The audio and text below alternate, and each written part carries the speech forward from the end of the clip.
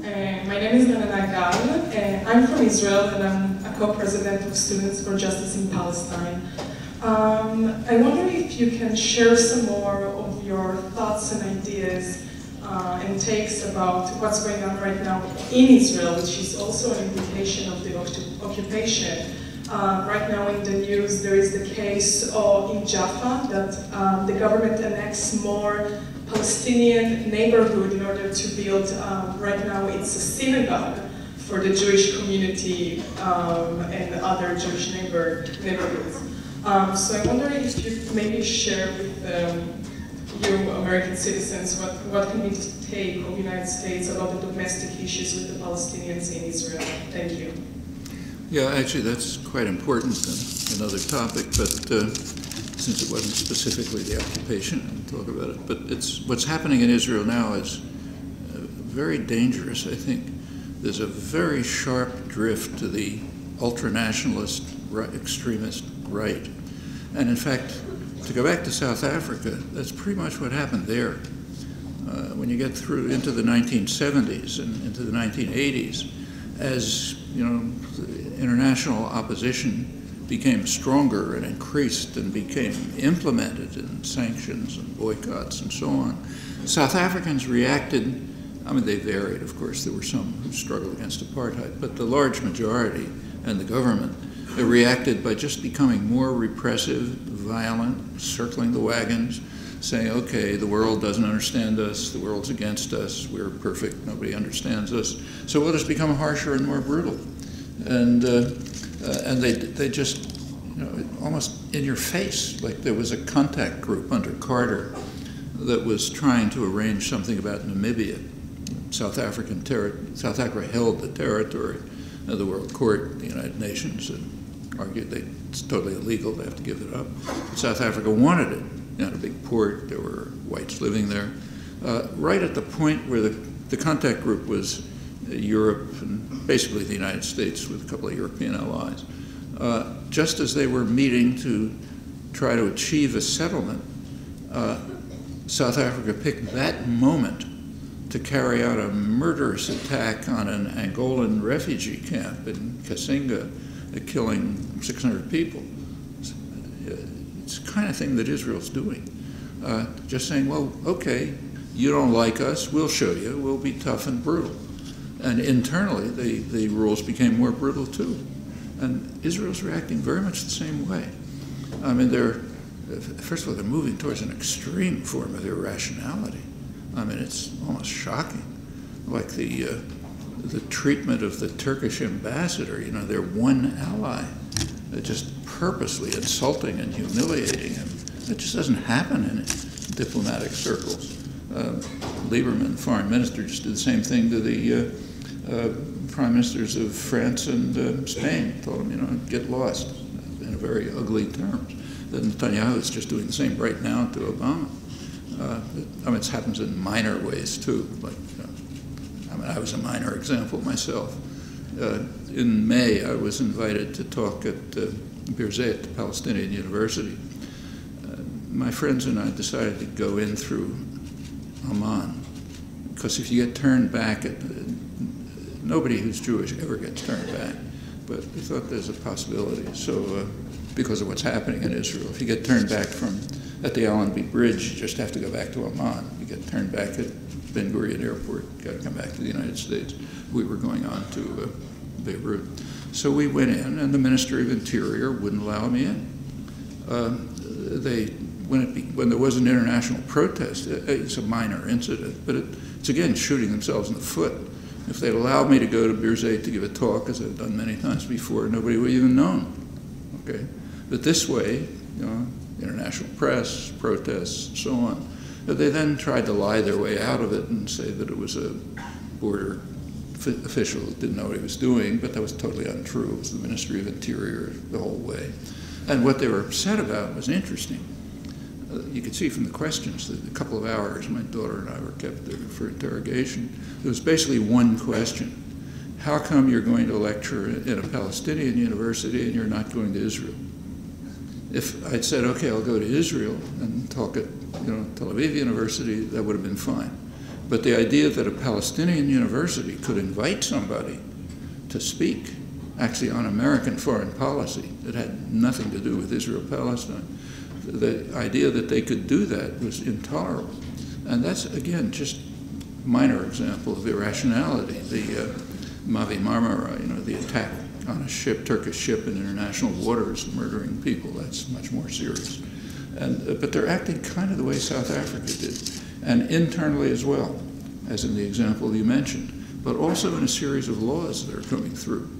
Uh, if, if you want to have a look at them, there's a small article by uh, Niv Gordon, an Israeli professor at Ben Gurion, in the London Review of Books, I think maybe the last issue, in which he just runs through some of the laws that are being considered and already passed the cabinet and will be implemented uh, in Israel, and they're they're really pretty ugly. Uh, one of them, which I think is just about to be implemented, uh, requires that uh, non-Jewish immigrants have to declare loyalty to Israel as a Jewish state. Okay, that's like, as Niv Gordon points out, it's like uh, somebody, an immigrant to England, being uh, compelled to declare loyalty to the Anglican Church. The civilized countries don't do that. Uh, they say non-Jewish immigrants for a reason. A lot of the Jewish immigrants won't do it. Orthodox Jews, for example, will not agree to that. So you've got to make it a racist uh, distinction. Uh, there's another, uh, there's another uh, law coming along uh, which would actually criminalize statements to the effect that Israel's not a Jewish state. That's pretty extreme, you know. It's like in England, you know, law saying you have to, it's, it's a criminal act not to say it's an Anglican state. The Anglican Church is the official church. You know. Uh, you know, and, and, a series like that. One of them, which is really important and isn't discussed much, has to do with the land laws. Uh, the most racist laws in Israel since 48 have been the land laws. There's a complex, I wrote about it years ago, you can look it up, but uh, what it comes down to is that over 90% of the land was placed under the authority of an organization Keren Kayemet, Jewish National Fund, uh, which has a charter with the State of Israel in which it's stated that they can act only for the benefit of people of Jewish race, religion, or origin. Okay, that's the wording. Uh, you pay for that, all of you, because it's tax-free. It has tax-free status in the United States. So when you pay your taxes, you're paying for an organization that controls over 90% of the land in Israel through various arrangements, and must act for people of the Jew, uh, benefit of people of Jewish race, religion, and origin. And not many countries could get away with this, maybe none. Uh, well, that was finally overcome. Uh, in the year, there are civil rights groups in Israel. In the year 2000, they brought a case to the High Court. A case involved a, an Arab couple, professional middle class couple, who wanted to buy a home in a Jewish town. And that went, you know, through the courts, finally reached the High Court, Supreme Court, and they ruled against it, which is quite important. Uh, that formally overturned the land laws, but then followed something which we are all very familiar with in the United States, a series of measures to try to get around it.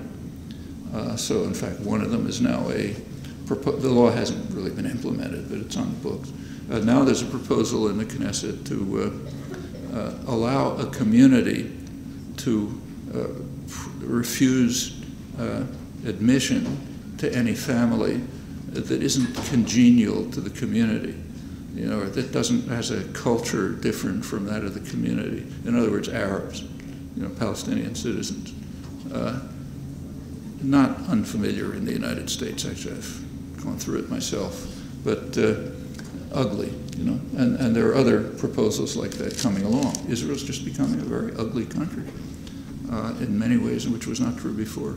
And I think the South African analogy is pretty appropriate. That's what happened there. Given what's been happening with the dedications of types, as an example, types of different squares in Ramallah um, after borders and other things like that going on, what is your opinion of the Islamization of the conflict and whether it adds or detracts to the Palestinian cause and legitimacy? So, how does it help or detract from the Palestinian cause and its legitimacy? Well, personally, I think that that's harmful everywhere. It's harmful all over the world. Uh, uh, there is a, uh, a rise of uh, sort of religious fundamentalism in many parts of the world, including the United States, and I think it's extremely harmful. Uh, you can understand it, you know, you can think of reasons for it, uh, but whether it's Islam or Christianity, as it is here, or Hinduism, as it is in India, it's pretty ugly uh, and has, uh, I think, is very harmful to the Palestinian cause. Incidentally, that's not something foreign to us. Uh, we should bear in mind that uh, part of the reason for this kind of outlandish U.S. support for Israeli crimes is Christian Zionism. Christian Zionism long precedes Jewish Zionism. It goes well back into the 19th century. And uh, in a country like the United, the United States is kind of off the spectrum in religious extremism in the Western world. I mean, about a third of the population in the United States believes in the literal word by word truth of the Bible. And the Bible says, you know, God promised the land to the Jews. So therefore, anything they do is right, and we got to support it.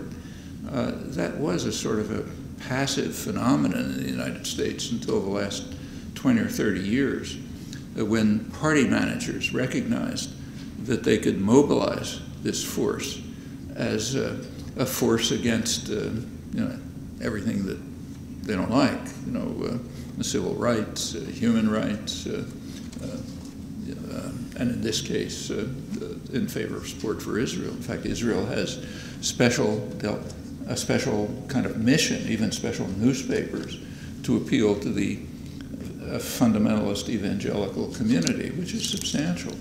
Uh, I should add that they are the most anti Semitic people in the world, in history, in fact. If you literally take a look at the end times literature, you know, uh, which has been developing since uh, in parallel with the uh, uh, with the establishment of Israel. Really took off in 48. That was taken to be, okay, the sign God is telling us, you know, Jews are going back to Palestine. 1967 gave it another big shot in the arm. Uh, this appeals to a large part of the population, huge, in fact. Their line is that uh, they want to uh, see a conflict, a battle between the Jews and the Arabs or the Iranians or the Russians or anybody, anybody which will end up in Armageddon in which they all slaughter each other. And uh, the souls who are saved rise to heaven, and Jesus comes, and you have a thousand years of peace, and so on and so forth.